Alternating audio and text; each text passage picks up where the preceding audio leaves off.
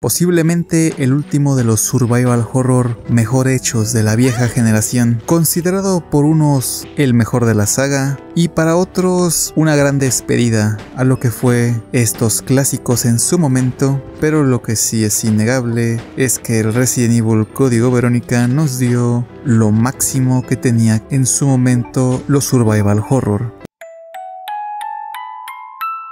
A ver, voy con calma. En este juego volvemos a tomar el control de Claire Redfield. Claro, aquí ya no va a estar acompañado por Leon, sin embargo, va a estar acompañado por Steve, un tipo que en las versiones originales, si mal no recuerdo, se parecía mucho a Leonardo DiCaprio. Obviamente eso lo corrigieron ya en las versiones de, PlayStation 2 en adelante, pero bueno, ahí está el dato. Ahora, este juego originariamente de la Dreamcast, que lamentablemente no vendió lo que fue, o lo que esperaba sinceramente Capcom, y después lo pasaron a PlayStation 2. Y tuvo unas ventas, pues, no explosivas, pero sí moderadas. Ahora, ¿de qué va la historia de este juego? Bueno, se supone que esto es tres meses después de los sucesos de Raccoon City. Luego de sobrevivir a la aterradora experiencia en esa ciudad, Claire continúa buscando a su hermano Chris, el cual escucha que se encuentra en Europa, continuando con su investigación de Umbrella y sus actividades ilícitas. Esto lleva a que Claire se infiltre en una instalación en París de Umbrella. Sin embargo, termina en un fiasco y la terminan agarrando. Esta escena es simplemente increíble, claro. De hecho, aquí viene un punto curioso, ya que casi estoy seguro que esta es la razón principal de que este juego tenga problemas para un remake, ya que sí es muy fantástica. Todo este momento es increíble, pero ya cuando lo analizas, curiosamente estamos viendo a una terrorista atacando unos laboratorios en Europa. En este caso, la terrorista es americana y obviamente eso se ve mal. Sin embargo, no se vería mal si usara turbante o hablara ruso o fuera latina, por ende narco.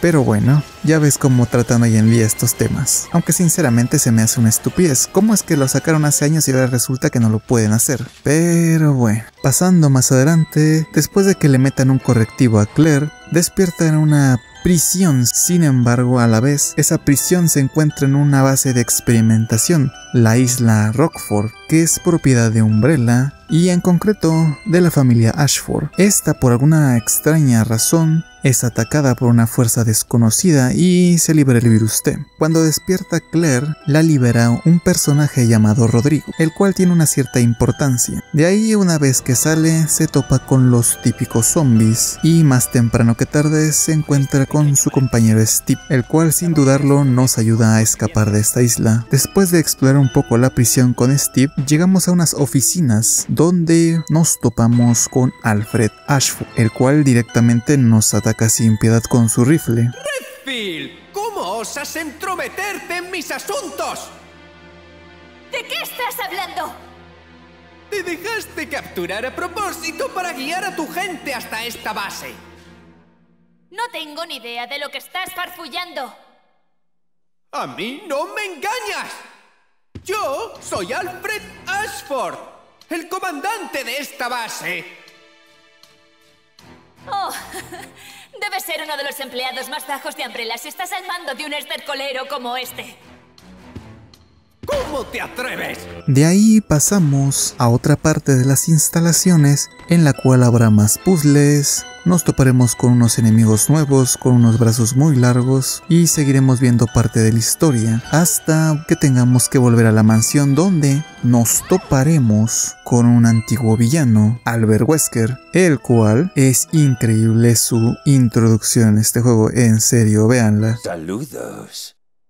Tú debes ser la adorable Claire Redfield. ¿Quién eres? Digamos que soy tan solo un fantasma que regresa para cazar a tu hermanito Chris. ¿Wesker? Parece que no hay mucho que explicar, ¿no? Yo fui el que atacó esta isla y quien pensó que andarías por aquí.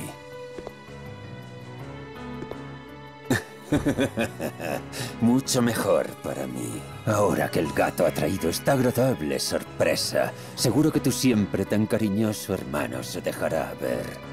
Te doy las gracias por ser tan buena carnada. No sé qué pasó entre vosotros, pero te equivocas y mucho. Mi hermano no es la clase de persona que crees. Desprecio a Chris con toda mi alma. ¿Qué piensas hacerle?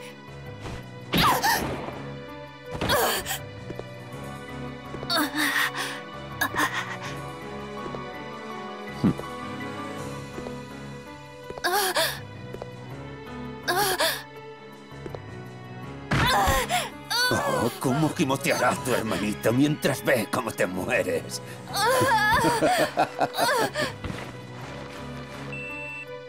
¿Qué? ¿Qué pasa? Quédate ahí. Ya voy.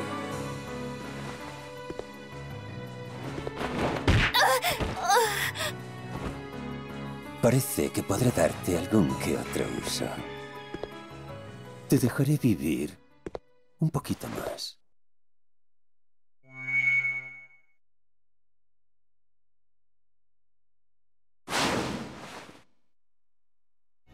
Después de esto nos topamos que Alexia también está en la isla y más temprano que tarde nos enteramos de que en realidad no es Alexia, sino que es Alfred que hace de trapito. Pero bueno, después de enterarnos de esto, tenemos que huir de la isla. Sin embargo, no será tan fácil ya que Alfred libera a un Tyrant, al T-078, el cual nos perseguirá hasta llegar al hangar del avión para poder escapar. Lo enfrentaremos una vez y luego, cuando escapemos de la isla, dentro del avión se habrá infiltrado el Tyrant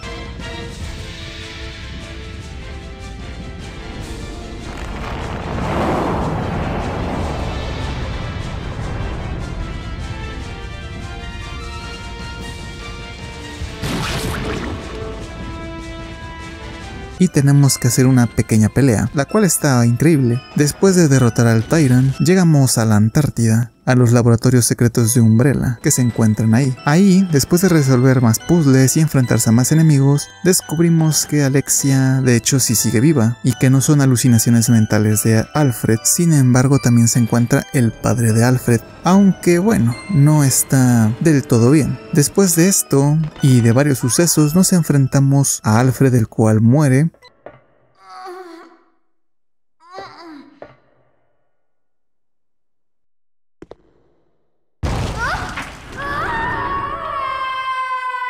aunque bueno, con sus últimas fuerzas, eh, despierta a su hermana Alexia y esta utiliza sus poderes para evitar que Claire y Steve escapen de la base.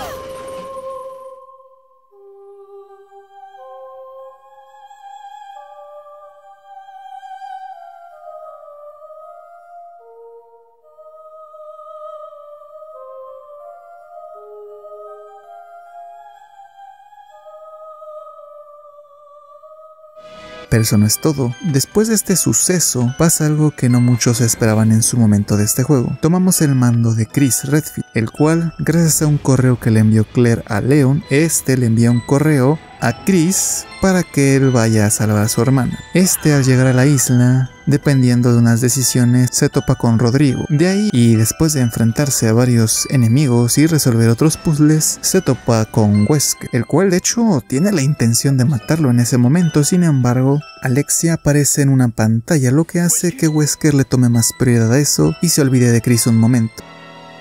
¿Aún estás vivo?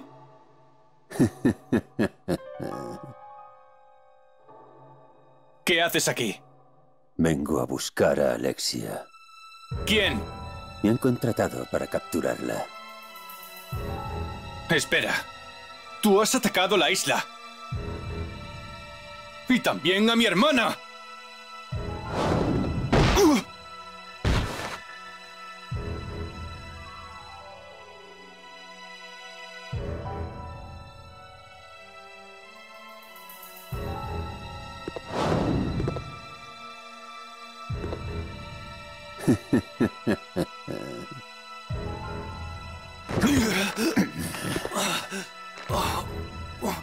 No te haces a la idea de lo mucho que te odio. Destrozaste todos mis planes. Así que ahora he vendido mi alma a una nueva organización. Ahora, muere.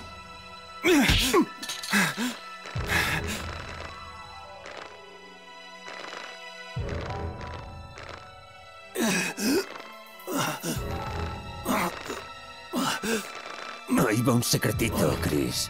He averiguado que tu hermana se encuentra ahora mismo en la Antártida, con Alexia. Es una pena que no vayas a volver a verla.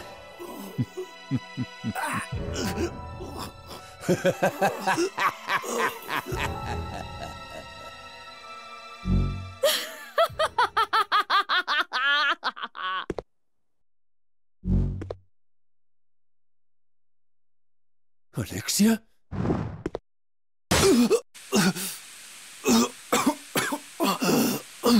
Después de varios puzzles otra vez resueltos, Chris consigue un jet para llegar a la base de la Antártida para poder llegar con su hermana. Al llegar a la Antártida, tiene que volver a resolver varios puzzles y enfrentarse a varios enemigos para encontrar a su hermana. Una vez que la encuentra, casi al momento son separados ya que tienen un pequeño altercado con Alexia. Y volvemos a tomar rápidamente el mando de Claire, la cual busca a Steve, pero al encontrarlo resulta que está infectado con el virus de Verónica. Esto desata una escena de persecución que termina en una escena de drama. Es un poco triste la verdad ya que el personaje termina agradando. Después de esto volvemos con Chris. Observamos cómo Wesker y Alexia se enfrentan.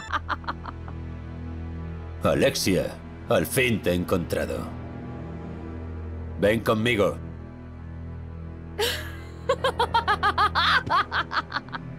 Eres responsable de la creación del virus de Verónica. Y ahora la única muestra que existe está en tu cuerpo. La quiero. Y ahora, ¿Dices que la quieres? Lo siento, pero tú no eres digno de su poder. 哈哈哈哈哈哈哈哈哈哈哈哈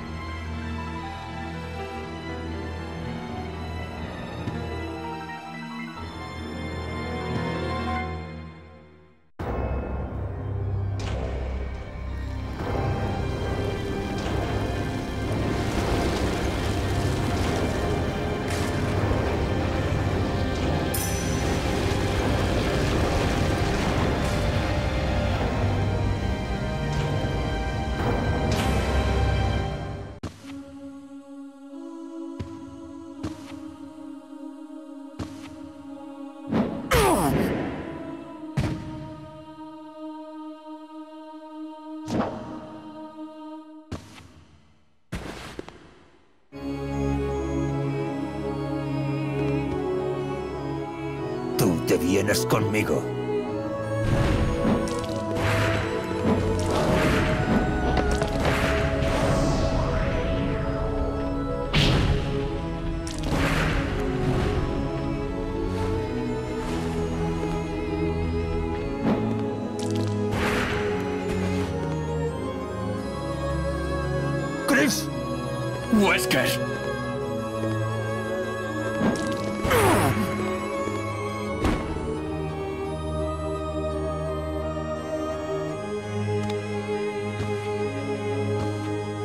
Chris, como eres uno de mis mejores hombres, dejaré esto en tus manos.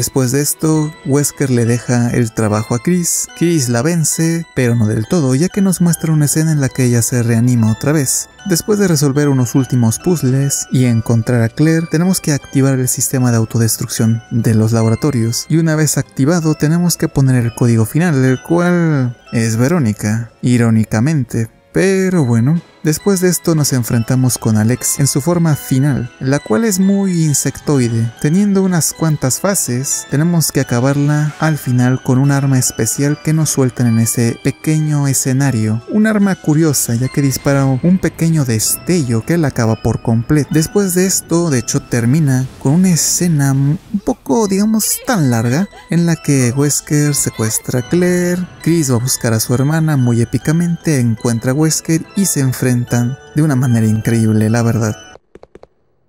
¡Chris! Bien hecho, Chris. Lo cierto es que el tema Alexia no ha salido muy bien. Así que lo único que me queda es venganza. ¡Suéltala, Wesker! ¡Me quieres a mí! Bien. ¡Claire!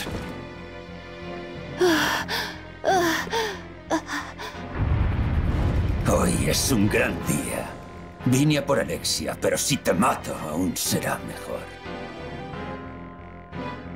Lo siento por ti, pero Alexia está caput.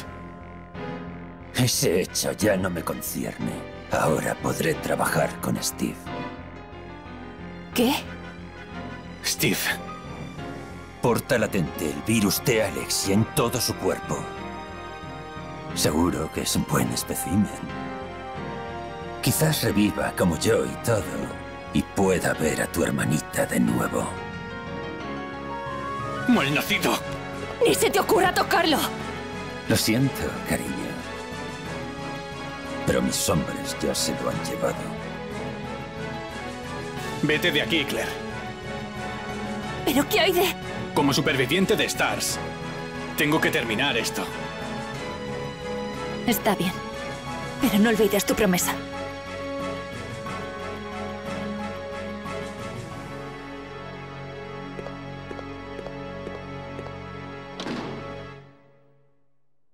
Acabaré con esto de una vez. Dale recuerdos a los camaradas que mataste. Me encantaría ver de dónde sacas tu confianza, Chris.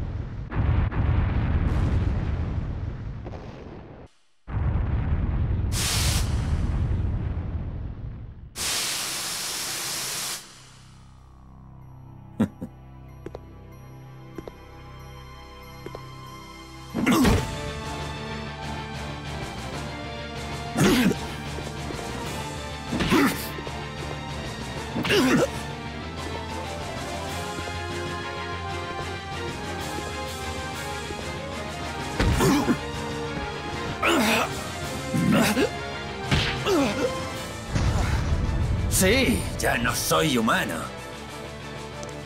Pero mira cuánto poder obtuve a cambio.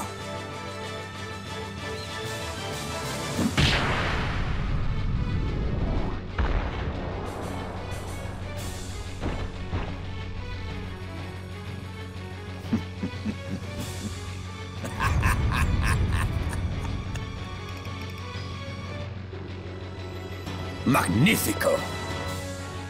¿No crees?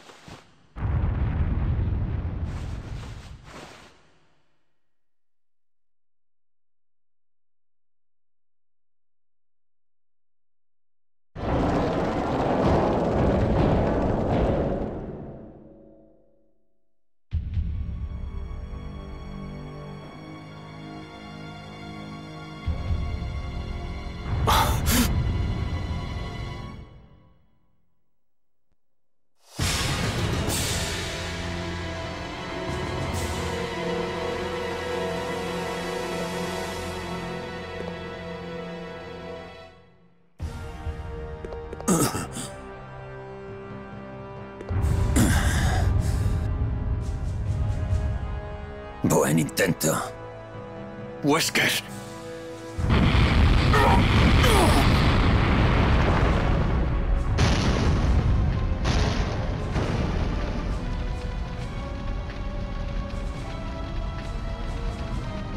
Hoy es tu día de suerte.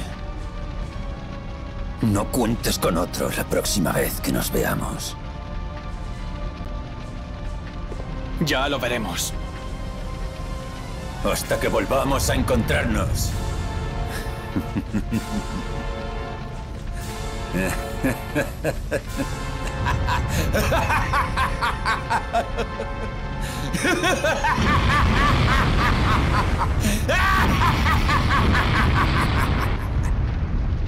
Y Claire y Chris escapan en un jet de la instalación justo en el momento en el que está estallando todo. Y fin. Y bueno, la verdad es un juego curioso. A ver, el gameplay es básicamente de los antiguos Resident Evil, o sea, controles de tanque. De hecho, se podría decir que es la cúspide del survival horror, claro, de ese momento. Y a ver, vamos a ver. Tenemos los controles de tanque, como dije. Sin embargo, hasta cierto punto no se sienten tan así. Eso sí, los escenarios en este juego están increíbles. De hecho, la prisión en la que iniciamos se ve el desastre que se ha armado. Más aparte, si prestas atención, los propios escenarios cuentan lo que ha pasado. Claro, hay documentos que leer y está muy bien y visualmente se ve lo que pasó. Se ve esas condiciones jodidas en las que estaban algunos prisioneros, algunos trabajadores. Se está muy bien implementado. De hecho, algo que notarás es que a veces al abrir ciertas puertas o bajar escaleras, claro, tenemos esa, esa pantalla de carga que es la puerta abriéndose o bajando las escaleras, pero en algunos momentos se va a ir más lento, escuchándose sonidos de corazón e incluso como dudando si abrir la puerta o no. Algo que sinceramente le añade un toque muy bueno, la verdad, que va de acuerdo a lo que es un survival horror. Ahora, también obviamente, esto no puede ser nada sin los puzzles, los cuales, claro, hay desde los básicos, que no son tan difíciles, y otros que sí te harán quemar la cabeza, pero bueno, también antes de que se me vaya de esto de los escenarios, me gusta lo intrincado que está la isla, bueno, lo que podemos explorar, ya que eso sí, ya que si te encantó como en el primer Resident Evil de la exploración de la mansión, en este juego tenemos eso mismo e incluso un poco más. Por cierto, hablando de las locaciones, la mansión de los Ashford por alguna razón es la única que no me cuadra con todo el juego. Y a ver, no está mal, de hecho su diseño es increíble, pero me parece más algo que vería en un Devil May Cry en un Resident Evil. Y no es broma, de hecho la muñeca que está en medio es muy similar o tiene una pinta igual a los primeros enemigos que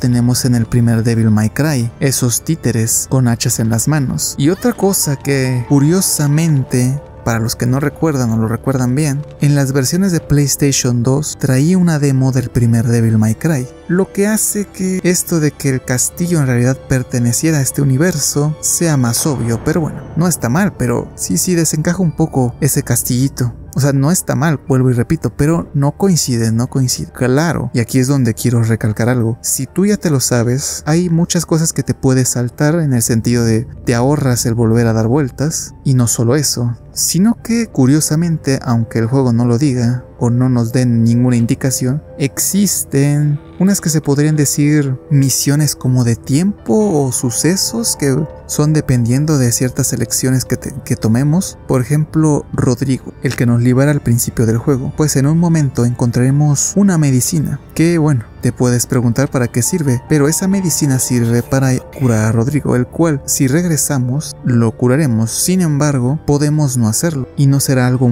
negativo en el juego. Claro, sucede algo curioso ya que estos eventos, ya que el juego no te los dice o no te los aclara cómo suceden, y de hecho no solamente va a pasar con Rodrigo, sino que con ciertos ítems como por ejemplo también el extintor que lo vas a necesitar en cierto momento y que no te vas a dar cuenta ya casi hasta el justo punto en el que el juego casi te dice aquí tienes que usarlo. Es curioso cómo esto de los ítems o misiones de tiempo están ahí. No te obliga a nada, pero sí te hace pensar lo que hiciste y hace que en tu segunda pasada evites estos errores para poder obtener ciertos ítems o ciertos objetos que no obtuviste en tu primera pasada. Muy buen diseño, la verdad ya que no te lo está mencionando que fallaste o algo por el estilo o no hay tiempo, simplemente puede que pasen o si tú no los quieres hacer pues no van a pasar. Ahora obviamente tenemos enemigos también. De principio casi obligatorio tenemos a los zombies, a los perros zombies, unos murciélagos, arañas, unos enemigos con unos brazos muy largos, ah, y tenemos de regreso a los hunters, y una versión de los hunters, pero que si te da un golpe, te envenena.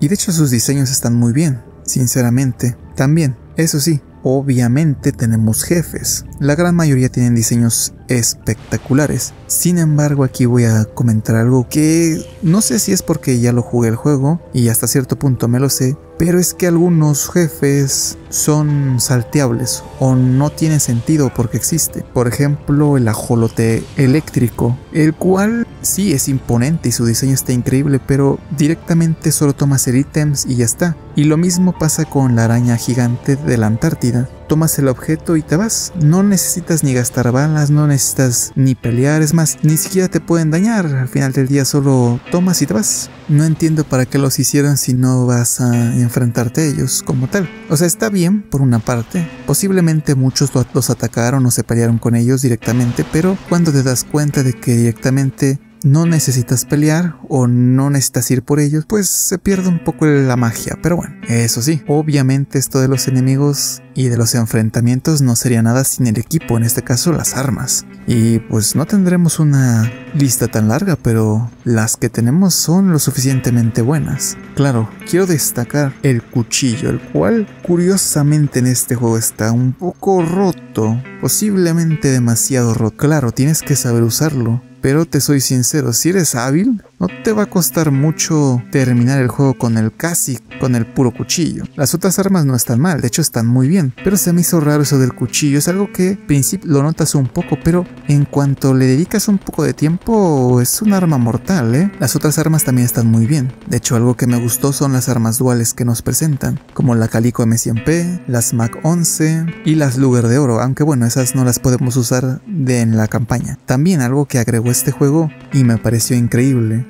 el rifle francotirador, aunque solo lo podemos usar una sección ya que es la única arma que de hecho tiene para poder ver en primera persona con su mira, está muy bien la verdad. Y tenemos otras armas que tienes que encontrar y que incluso si no eres capaz de con ciertos ítems no las vas a poder conseguir. El juego es largo, de hecho se los digo de una vez. Primera vez tal vez te cueste unas 7 o si de plano te pierdes hasta 9 horas para obtener el lanzacuetes infinito son 4 horas y media. Nada mal, ¿eh? También se desbloquea uno que se llama el Battle Game. De hecho, para empezar, tienes munición infinita de las armas que tenga el personaje. El tiempo es el que tú te hagas en hacerlo. Se inicia de cero y es hasta lo que tú dures ahí en terminar. Tienes que eliminar a cada enemigo de cada área para poder entrar a la siguiente, hasta llegar a un jefe final. Habrá quien le guste, habrá quien no le guste. Sinceramente, hasta cierto punto no me desagrada este minijuego. Está bien, la verdad. De hecho, le puedes obtener un arma especial que la van a poder tener todos los personajes. Ahora, bien, este juego,